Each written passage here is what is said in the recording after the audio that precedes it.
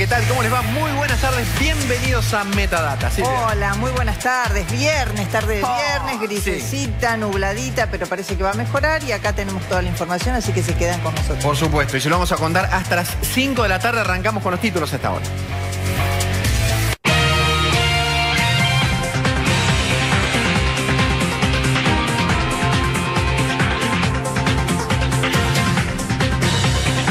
Con los gremios denuncia penal contra los pilotos. La ANAC argumentó que la medida podría haber puesto en riesgo la seguridad de las aeronaves. Los pilotos usaron altoparlantes para enviar mensajes políticos. Hoy volverán a movilizarse en Aeroparque. Los vuelos no se verán afectados.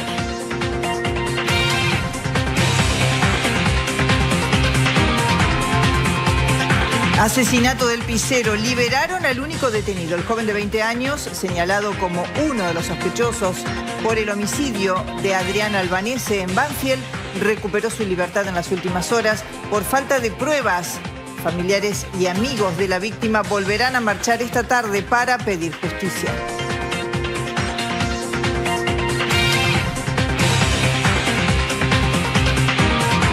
San Martín de los Andes, incendio en un centro de esquí. La confitería Antulauken en el Cerro Chapelco quedó destruida por las llamas. Ubicada a 1.600 metros de altura. Aún no saben las causas del incendio. Las condiciones climáticas complican el trabajo de los bomberos.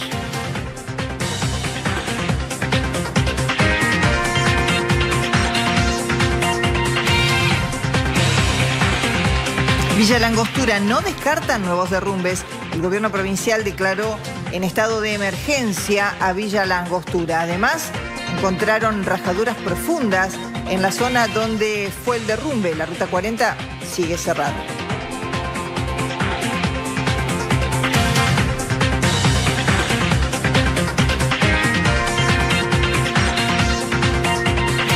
Refuerzo italiano de Rossi será presentado el lunes. El ex jugador de la Roma ya practica con sus nuevos compañeros Casa Amarilla.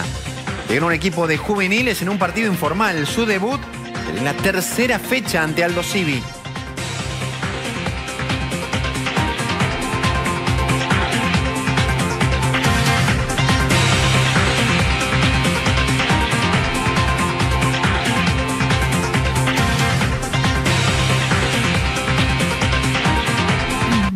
Adelantamos algunos de los temas que tenés que saber y te vamos a contar en un ratito nada más qué está pasando porque hay preocupación creciente por los incendios forestales en San Luis.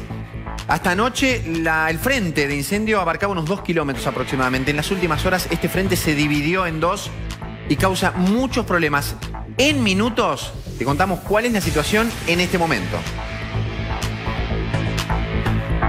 Vamos a hablar del frío en distintas regiones del país, no es exclusivo de la Patagonia ni del sur, también en el norte. Una cascada, la cascada de los Alisos, congelada, completamente congelada por las bajas temperaturas. Esto es en Tafí del Valle. La imagen muy impresionante, algunos decían, parecía de la película Frozen. eh, se, se distribuyó por las redes, se hizo viral y nosotros te la vamos a mostrar y contar de qué se trata. ¿Qué te pasa a vos? ¿Cuál es tu relación con la carne? ¿Sos fanático de la carne? ¿Podrías dejarla? ¿Podrías vivir sin carne? Bueno, la encuesta dice que solo cuatro argentinos son fanáticos de la carne. Apenas cuatro.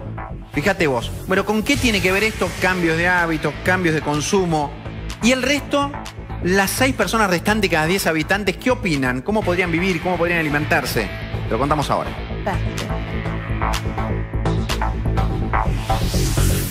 Bueno, un tiempo esperado, el molino reabre sus puertas. Nosotros te vamos a contar esta confitería icónica frente al Congreso de la Nación, totalmente restaurada. Corrió riesgo, te vamos a decir, ¿eh? de eh, que sea demolida. Sin embargo, bueno, se consideró su valor arquitectónico, su valor eh, histórico para la ciudad. Está para abrir sus puertas, te lo vamos a mostrar.